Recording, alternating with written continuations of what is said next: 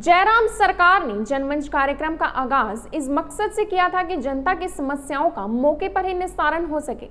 लेकिन रविवार को नैना देवी हल्के में राजकीय वरिष्ठ माध्यमिक विद्यालय दियोत में आयोजित जनमंच नेताओं की तूतू मैमे का अखाड़ा बन गया। इस बीच कैबिनेट मंत्री सरवीन चौधरी देखती ही रह गई।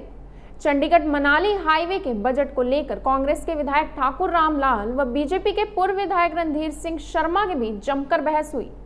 अगर पुलिस हस्तक्षेप नहीं करती तो नौबत हाथापाई तक आ सकती थी।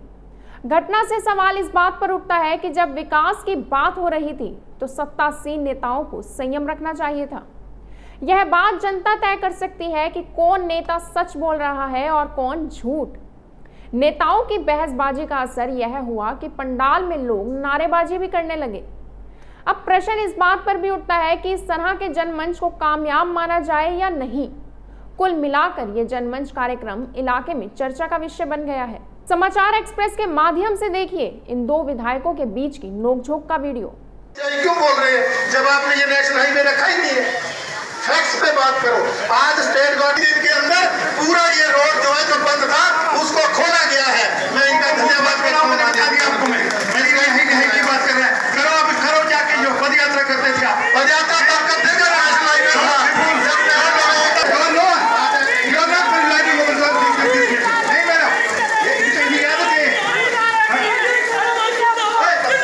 बस बस नारे लगा रहे ले ले नो नो नो नो नारे लगाने से हो नहीं भैया नहीं नारे लगाने तो मैं भी लगवा दूँगा नहीं नहीं नहीं नहीं नहीं नहीं तो मैं पढ़ा मत पढ़ा देखो जिसकी ये बात कर रहे हैं। मैं ये कह रहा हूँ कि वो नेशनल हाईवे तभी रिपेयर हुई है।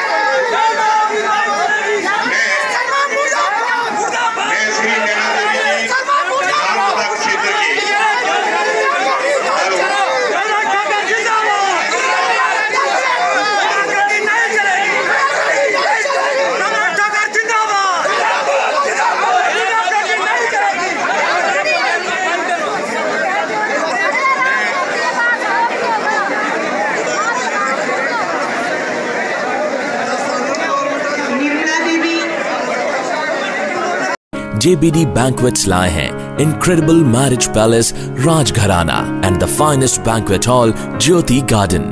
World class catering, centrally air conditioned, lush green lawns, state of the art lighting. A perfect venue for wedding, launching and parties. Rajgharana and Jyoti Garden at JBD Banquets Enterprise. ऐसे ही latest खबरें पाने के लिए bell icon को click कर हमारे channel को like share and subscribe करें धन्यवाद।